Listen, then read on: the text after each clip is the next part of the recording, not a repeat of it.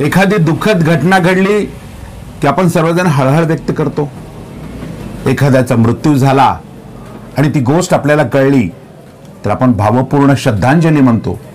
परमेश्वर मृतात्म्याला चिरशांती देवो अशी प्रार्थनाही करतो.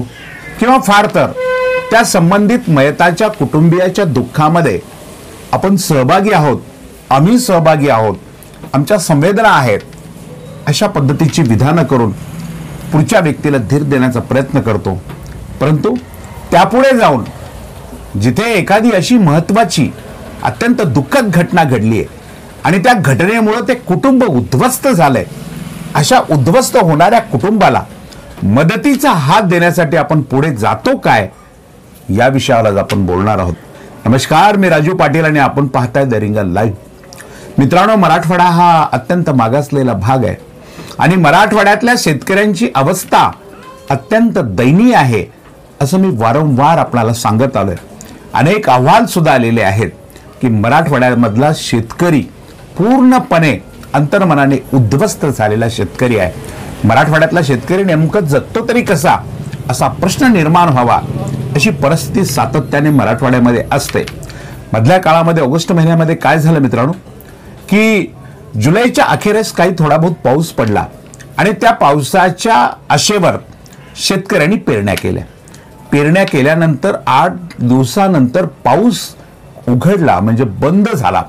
तो इतके दिवस बंद झाला की त्याच्या शेतामध्ये आलेलं सोयाबीन सारखं पीक किंवा इतर जी पिकं होती ही अक्षरशः करपू लागली. मग अशा वेळी शेतकऱ्याने आपल्या शेतामध्ये उपलब्ध असलेलं पाणी जे विहिरीमध्ये असेल बोरमध्ये असेल ते देण्याचा आणि ती पिकं वाचवण्याचा प्रयत्न केला.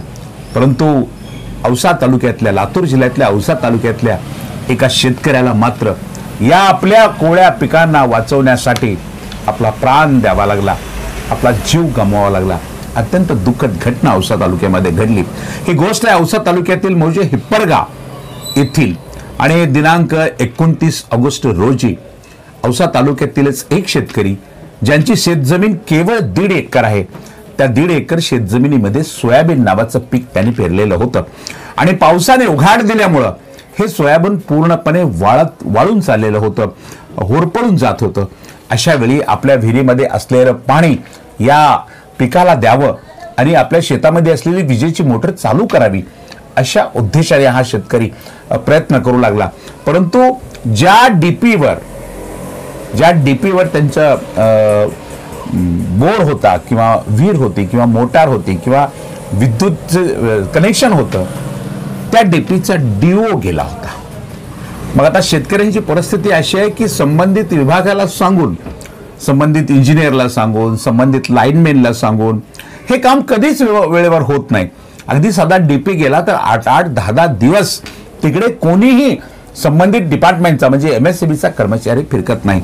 अशा वेळेला या शेतकऱ्याच्या मनामध्ये असा विचार आला की आता लाइट तर बंद आहे. लाइट आता चालू होणार नाही. तर आपण पटकीने स्वतः या डीपीचा डिओ घालावा आणि डिओ घातल्यानंतर आपली मोटार चालू होईल आणि आपल्याला वाळत चाललेल्या पिकाला पाणी मिळेल. हे पीक जर तगलं तर आपल्या लेकराबाळाच्या तोंडामध्ये भविष्यामध्ये चारगात चांगले पडतील. अशा विचारानं हा शेतकरी गोपाळ शहाजीराव भोजने राहणार हिप्परगा तालुका औसा जिल्हा लातूर. हा शेतकरी डिओ घालण्यासाठी डीपीवर चढला परंतु अचानकपणे वीज चालू झाली. आणि त्या विजेच्या जोरदार शॉकने झटक्याने तो जमिनीवर कोसळला. त्याला दवाखान्यात उपचारासाठी नेण्यात आलं. त्यांच्यावर उपचार करण्याचे प्रयत्न करण्यात आले. त्यांचा एक हात तोडला. दुसराही हात तोडण्याची वेळ त्यांच्यावर आली. त्यांना मोठ्या हॉस्पिटलमध्ये घेऊन जाण्याचा सल्ला डॉक्टरांनी दिला. आणि हे करता करता चार आठ दिवसामध्ये जवळपास सात ते दहा लाख रुपये इतका मोठा खर्च त्या दीड एकर शेती असलेल्या एका गरीब कुटुंबाच्या कुटुंबावर अशा पद्धतीचा खर्च आला. आणि मग बो भोजने यांच्या पत्नीने बबिता ज्यांचं नाव आहे आपली बहीण त्या सौभाग्यवती बबिता भोजने यांनी असा निर्णय घेतला. की मला एक दीड एकर जमीन आहे. हे दीड एकरच्या दीड एकर जमीन विकून टाकू. लोकांचे पैसे देऊ. परंतु माझा हा नवरा माझा हा पती वाचला पाहिजे. हा पती जर वाचला तर आम्ही दोघं रोजी रोजगार करू मेहनत करू कष्ट करू. आणि आपल्या चिल्या पिल्याला ज्यांना ती तीन मुलं आहेत त्यांना त्या तिन्ही मुलाचं आपण भविष्यामध्ये भविष्य घडू या मयताला गणेश निलेश आणि नागेश नामक तीन मुलं आहेत मित्रांनो. अतिशय छोटी छोटी ही लेकरं आहेत. तर या लेकरांचं भवितव्य घडवू अशा उद्देशाने त्यांनी लोकांच्याकडनं उधारीवर पैसे घेतले. दवाखान्यासाठी आणि लोकांनी सुद्धा मोकळ्या मनाने त्यांना दिले. त्यांनी तिला सरळच सांगितलं की माझा नवरा बरा झाल्यानंतर मी ही जमीन विकून टाकणार आहे. आणि त्यातून येणाऱ्या पैशातून मी तुम्हाला सगळ्यांचे पैसे देईन. परंतु दुर्दैवानं या सगळ्या घटनेमध्ये गोपाळचा दुःखद मृत्यू झाला. पैसे गेले प्रयत्न गेले कुटुंबावर दुःखाचा डोंगर कोसळला दहा लाखाचं कर्ज डोक्यावर येऊन बसलं. आज हे कर्ज फेडायचं कसं? शिल्या पिल्यांचं पोट भरायचं कसं? असा प्रश्न त्यांच्या सर्वांच्या समोर त्या कुटुंबाच्या समोर भोजने कुटुंबाच्या समोर निर्माण झाला. अशा वेळेला औसा तालुक्यामध्ये असलेले शेतकरी संघटनेचे नेते स्वाभिमानी शेतकरी संघटनेचे नेते राजेंद्र मोरे आणि निराधार संघर्ष समितीचे अध्यक्ष राजू कसबे या सामाजिक चळवळीमध्ये काम करणाऱ्या दोन तरुणांनी पुढाकार घेतला. लोकांना आवाहन केलं की या कुटुंबाला आपण सर्वजण मिळून शक्य होईल तेवढी आर्थिक मदत करूया. आणि त्यांच्या आवाहनाला प्रतिसाद देत त्यांच्या मित्र कंपनीने जवळपास दोन लाख रुपयाची रक्कम एकत्र केली. आणि ही दोन लाख रुपयाची रक्कम आपली बहीण बबिताताई गोपाळ भोजने यांच्याकडे सुपूर्द केली.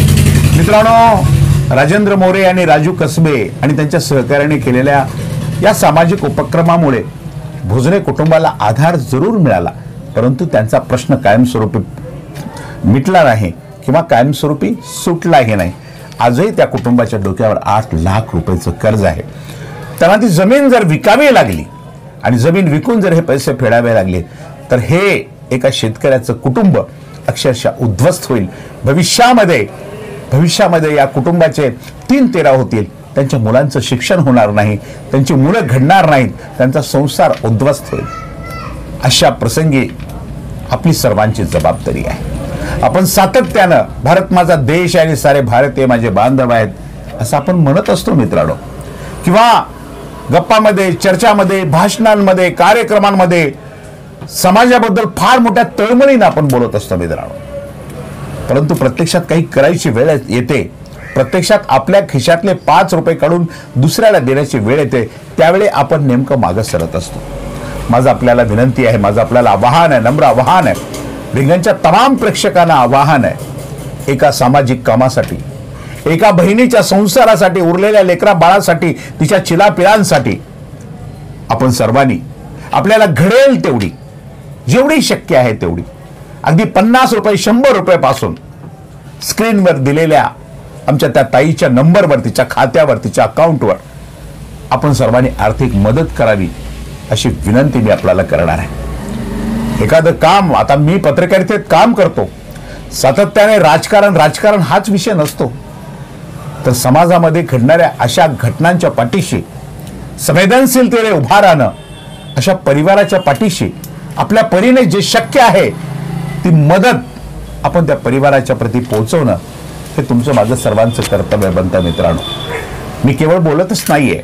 तर मला स्वतःला माझी जेवढी काही ऐपत आहे त्या पद्धतीची मदत मी त्या संबंधित कुटुंबाला करतो आहे आणि आपल्याला विनंती करतो आहे.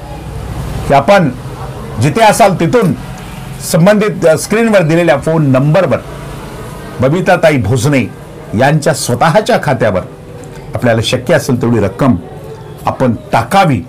आणि आपल्या सर्वांच्या सहकार्यातून जर एक छोटी मोठी रक्कम उभी राहिली आणि हे कुटुंब जर कर्जमुक्त झालं तर भविष्यामध्ये त्यांची जी मुलं घडणार आहेत या मुलांच्याकडनं चांगली देशसेवा होईल चांगली समाजसेवा होईल. या मुलांच्या मनामध्ये या तिन्ही लेकरांच्या मनामध्ये एक भाव निर्माण होईल की या समाजाने या राज्याने या राज्यातल्या जनतेने या जिल्ह्यातल्या तालुक्यातल्या जनतेने माझ्या आईवर जे संकट आलं होतं त्या संकटामध्ये साथ दिलेली आहे. माझ्या कुटुंबाला सावरलंय. माझ्या कुटुंबाला आर्थिक मदतीचा हात दिलाय. आणि त्या मदतीच्या बळावर आम्ही आज लोकांच्या समोर उभे आहोत. त्यामुळे आमचं एक कर्तव्य बनतं समाजाच्या प्रती की आम्हीही या समाजाचं देणं लागतो. आणि ही तीनही लेकरं भविष्यामध्ये एक उत्तम नागरिक बनून एक उत्तम अधिकारी बनून समाजाची सेवा करतील. या बहिणीला बबिता ताईला आपल्या सर्वांचा आधार मिळेल. आपण केवळ सण उत्सव साजरे करतो. अगदी राखी पौर्णिमेसारखे सण साजरे करतो. आणि अनेकांना फेसबुकवर व्हॉट्सअपवर शुभेच्छा देत संवेदना व्यक्त करत बसतो. त्यापेक्षा प्रत्यक्ष कृती करून आपल्याला मदत करावी लागणार आहे मित्रांनो. मी आपल्याला आवाहन करतो नम्रपणानं आवाहन करतो की लातूर जिल्ह्यातल्या औसा तालुक्यातल्या बबिताताई गोपाळ भोसने या भगिनीला या बहिणीला तिच्यावर जे संकट कोसळलं आहे त्या संकटामध्ये आपण सर्वांनी मदतीचा हात द्यावा.